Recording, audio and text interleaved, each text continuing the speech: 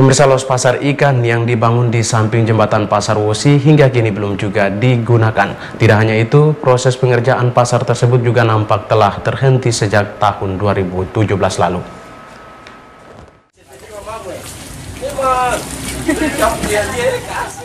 Beginilah kondisi pasar ikan Wosi yang baru dibangun. Bangunan yang rencananya digunakan untuk penjualan ikan dan penjualan daging ini belum juga selesai dikerjakan.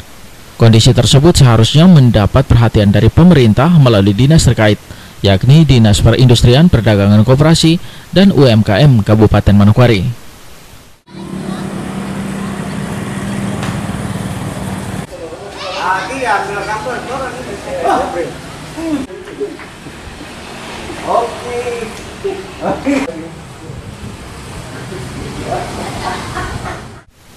Koordinator Pasar Ikan Wosi Kasim yang diwawancarai mengatakan pihaknya belum mendapat instruksi untuk menempati bangunan tersebut. Kabar yang beredar pembangunan pasar baru rupanya terkendala oleh pemilik hak wilayah sehingga belum juga rampung. Bicara masalah pasar ikan ini, eh, sudah 18 tahun saya jualan ikan ini, saya koordinator pasar ikan dan eh, dari dulu sampai sekarang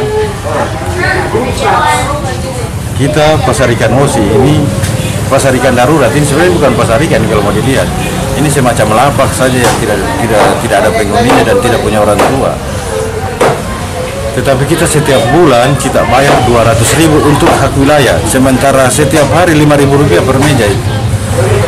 Beberapa waktu lalu itu dikatakan bahwa itu untuk pasar ikan. Tetapi sampai sekarang ini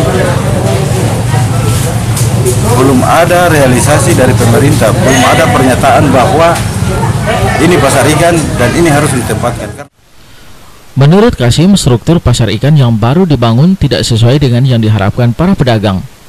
Pasalnya, pembuatan lapak ikan tidak memiliki rongga pembuangan air dan kotoran. Selain itu, tidak disediakannya fasilitas pelengkap seperti gudang dan MCK bagi pedagang. Uh, bangunannya juga tidak sesuai dengan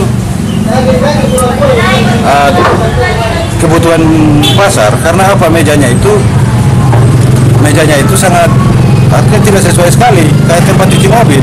Sementara pasar ikan itu meja itu harus ada rongga di bagian bawahnya supaya adanya pembersihan bisa lebih bagus. Tetapi meja yang di sana yang kita lihat sekarang ini yang di bagian belakang yang sudah dibangun itu tidak ada rongga sama sekali di bagian bawah.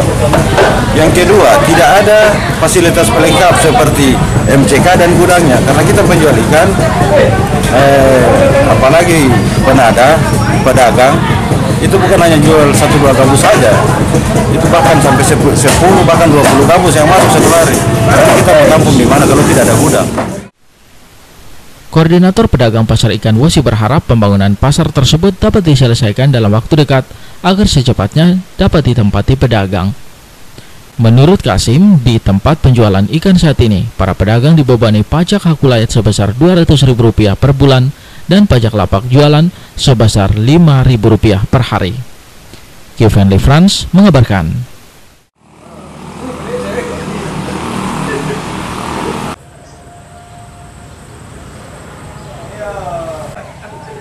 Tá vendo? Bora!